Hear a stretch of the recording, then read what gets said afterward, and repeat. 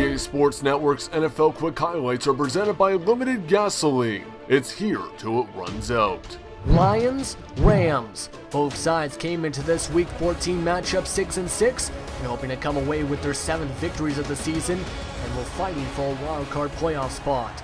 As the Rams took the field first on offense, with the quarterback Austin Davis coming into this one with 1,059 passing yards, 5 touchdowns, and 8 interceptions. And Davis did not look very well to start off, as he went 1 for 3 on his first drive for 4 yards and had a 3 and out. The Detroit Lions would take the ball very quickly, as Matthew Stafford came to the field for his offense with 922 yards passing, 5 touchdowns, and 2 interceptions coming into this one. He would start off very well, finding Calvin Johnson for the first reception of the game for 14 yards for the Lions. Then on third and two a few plays later, the fullback and Brian Leonard would run the ball for 10 yards, getting inside the green zone at the 31-yard line. Then later on in the drive on first and goal, Theo Riddick would cap off the drive by running it into the end zone for a touchdown, but his line's up 7 and nothing early. A few 3-0 drives later, the Rams would try and finally respond. As Austin Davis on third and seven would pass the ball and feel the pressure, but find Jared Cook for the reception at the 25-yard line. With the third completion at the time. Then on third and 11 on the play action, he would lob it up to Lance Kendricks for the touchdown. To tie things up at seven, it was seven to seven after the one quarter of play. In the second quarter, the Detroit Lions would start off with the ball, and they continue to play very well in offense, as Theo Riddick would run the ball for 10 yards to get up to 46 yards in the game. Already eight rushes at this point.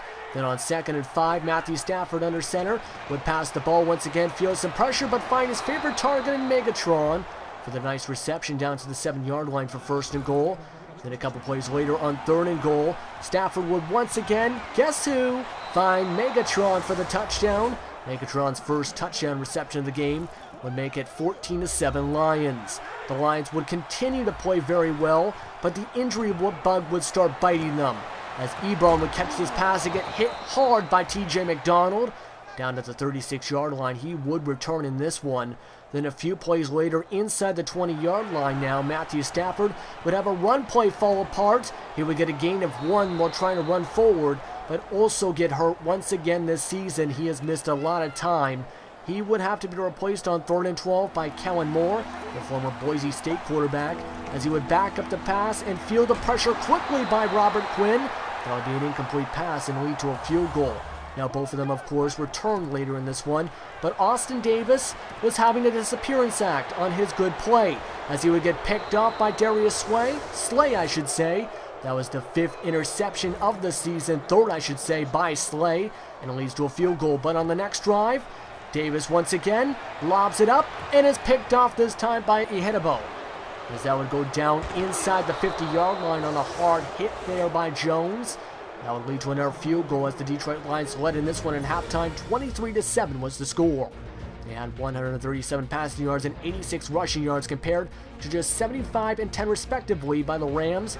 It was the second straight game the Rams struggled, so they put in a new quarterback in Sean Mannion from Oregon State University as he would start off with his first career completion on his first pass for five yards, but looked very inaccurate passing as the rookie ended up throwing three straight incomplete passes after completing that five-yard reception as they would have to punt the ball from the 47-yard line on very bad passes as this was a major risk for the Rams to take. The Lions, meanwhile, were cruising on offense as Stafford would back up to pass on third and six, have all the time in the world, but guess what? Janoris Jenkins would pick him off going to Megatron. As that was the fifth interception of the season by Janoris Jenkins there, as that would lead to this.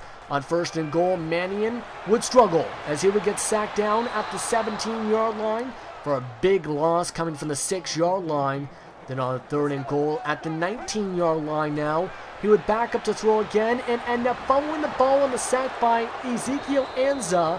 It would be recovered by Tre Mason and lead to a field goal.